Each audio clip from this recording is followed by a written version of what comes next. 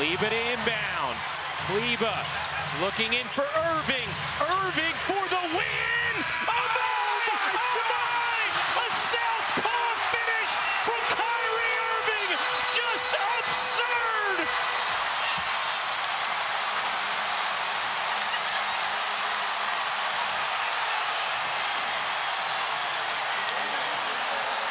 Unforgettable ingenuity from Kyrie Irving. A left-handed floater for the win. Replay official confirms a ruling on the floor. Good basket. The game is over.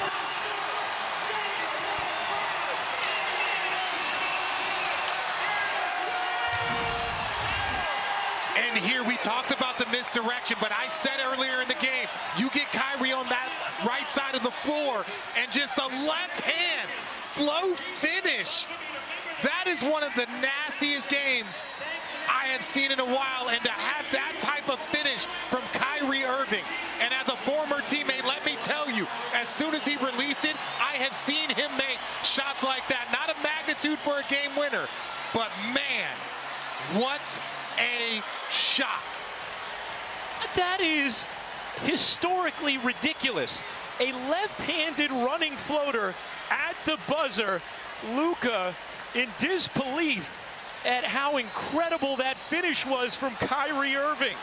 Luka thought and knows he is a bad man.